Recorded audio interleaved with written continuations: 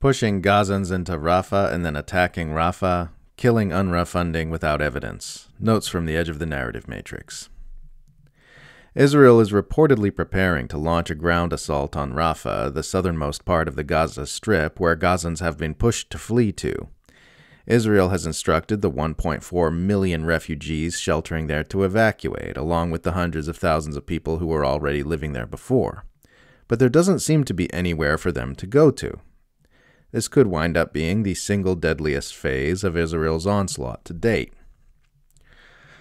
So, to recap, the IDF has been packing the population of Gaza into the southernmost part of the enclave like toothpaste toward the end of a tube, and now they're going to attack that southernmost part. But it's totally not genocide, and you're an evil Nazi if you say it is. This genocide is not a genocide. Ceci n'est pas une pipe. Can we all just stop and marvel at how successful Israel and its allies have been at moving the conversation from the ICJ ruled that Israel needs to immediately cease killing Palestinians to is it right or wrong to starve 2 million people based on unevidenced claims? Australian Foreign Minister Penny Wong has acknowledged that Canberra joined the US, UK, and other allies in cutting off UNRWA funding without having seen proof of Israel's claims against the organization. Empire managers are now openly admitting they suspended aid to Gaza without having seen evidence of the claims that the call was based on. They cut the aid because they were told to, then waited for narratives to be provided to them as to why this was a good and righteous decision. If you're going to say that a bad thing happened and we therefore need to cut off aid to the most aid dependent population on Earth, then you'd better at least be able to prove the bad thing actually happened. If evidence exists, then show it. If you insist on starving 2 million people, you can't do it on vibes alone. How is this not obvious to everyone? How is it not immediately obvious the instant it came up?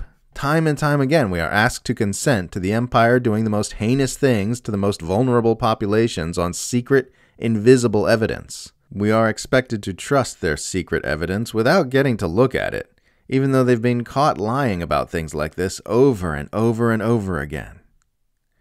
They think we're idiots.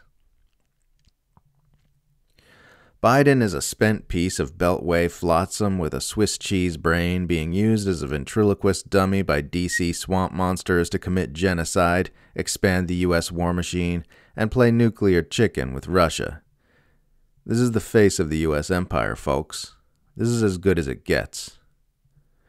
I'll never forget how obnoxious and condescending Democrats were when telling me how wrong I am about Biden obviously having dementia. These people will look you right in the eye and tell you up is down, and that if you disagree, you're a Russian agent. Biden is too senile to be president is the wrong lesson to take from this. Replacing Biden with someone less senile won't change the behavior of the U.S. government It'll just lend false credibility to the illusion that the official elected government is calling the shots in D.C. Support capitalism. It gives you freedom.